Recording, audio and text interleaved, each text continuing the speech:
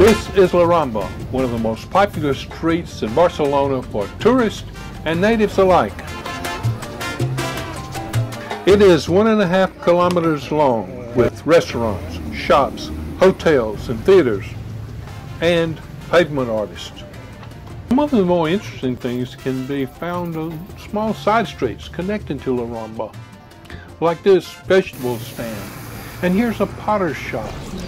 Yes, complete with the potter's cat. We're looking for some place to eat on La Rambla. When in Spain, you've got to try this classic rice dish. This one is loaded with seafood. And the sangria is great too.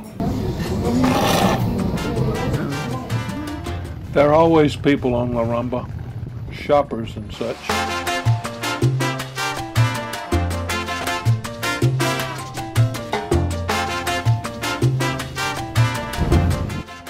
How about that living statue? And there's another one.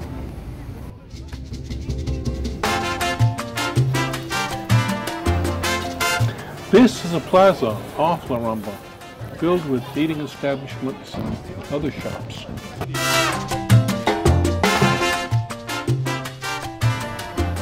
We thought this was kind of cool. A train video was playing. We had just seen them about a week before our vacation. Notice the fried egg. And those steaks are pure Nebraska beef.